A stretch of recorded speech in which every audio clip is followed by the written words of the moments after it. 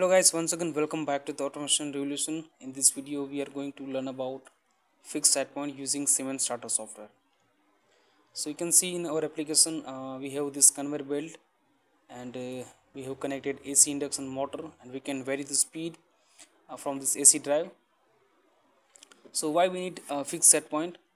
So uh, some of the application in industries we need uh, different rpm at certain distance so you can see here from the initial stage uh, to fast proximity sensor uh, we need 200 rpm and after uh, sensing this fast proximity sensor i want to increase uh, speed or you can decrease the speed.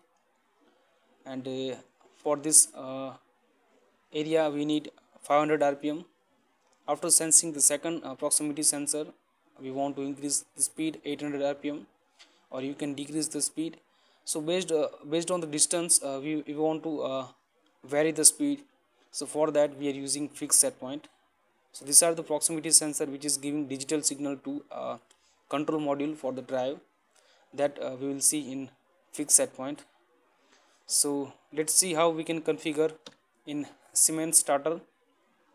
So here we have Siemens starter software and I have uh, configured Siemens G120 AC drive and after configured uh, this drive we will switch into set point channel. And from there we will get fixed set point option. Here uh, you can get two options direct and binary. So first we will see uh, direct option. Here we are getting uh, four by connector so here you can uh, connect digital input uh, so you can go for further interconnection and from there you can assign digital input. So right now I will assign digital input 1 here.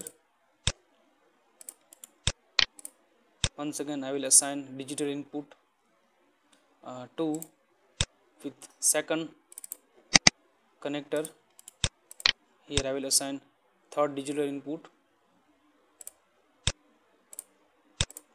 And here I will assign fourth digital input. So uh, when I will enable this bit so that time uh, you can see here we can give a fixed feed set point. So you can vary uh, the speed. So right now I have given uh, 100 200 300 and 400 you can give as per your application or desired output. So when this uh, bit will enable so that time uh, this uh, fixed set point will uh, send signal to main set point.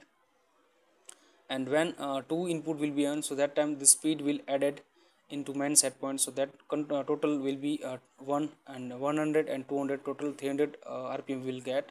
So when uh, we are enabling uh, four input digital input so that time we will get total summation of this fixed speed rpm so that we'll see in practical application. Second option in binary we will get total 16 combination uh, using this uh, digital input. So in that case when uh, we'll enable first bit so that time we will get 100 rpm when we'll enable second uh, bit so that time we can uh, get as per this hexadecimal. So this is binary uh, options from there we can get total 16 combination for this rpm so first we will uh, configure this direct option. And now I will go online first. And uh, you can see I have assigned four digital inputs. And here I have given this fixed set points 100 200 300 and 400 rpm and here I have given main set points 1070 that is the parameter number for main set point. Now now we will see uh, in drive practical application how it will work. So let's see. So after assigning fixed set point from the starter software uh, we will see practically in Siemens G120 AC drive. So these are the digital input connected with control module of the AC drive and uh, we have connected induction motor uh, with this AC drive.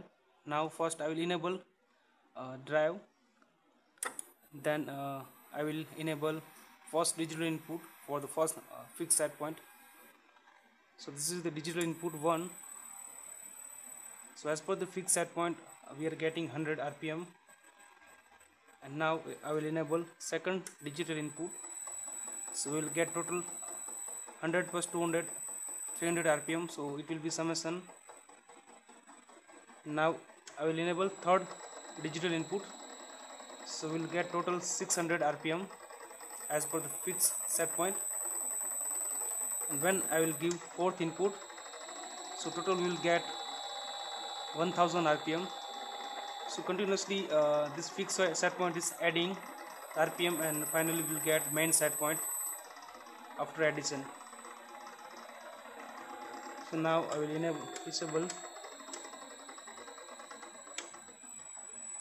so this is how we can configure fixed set point. Uh, you can also uh, set binary uh, combination. So we will get total uh, 16 uh, different speed. And uh, from this four digital input you can configure different fixed set points in binary also. So thank you very much for watching the